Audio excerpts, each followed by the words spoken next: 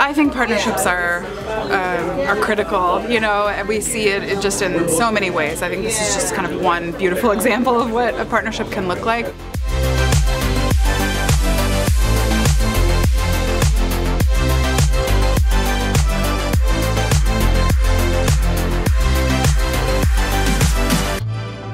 So I am here today because we are having our grand opening for our very new school-based Family Resource Center. This is a location that I will be running personally three days out of the week. I am here to help families access many resources from basic needs to healthcare to utility assistance, rental assistance, whatever you name it.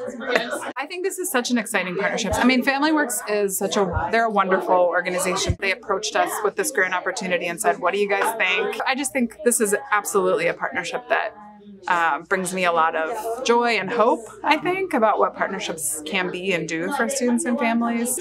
We've been partnering with Seattle Public Schools now for uh, close to four years. And I just, I'm super grateful for organizations like FamilyWorks that just come, you know, ready to collaborate and problem solve because they're, at the end of the day, their goal is the same as ours. Like, how do we uplift and support students and families in Seattle? Over time, what we have found is that a lot of families need access to resources, but they're not always sure where to go.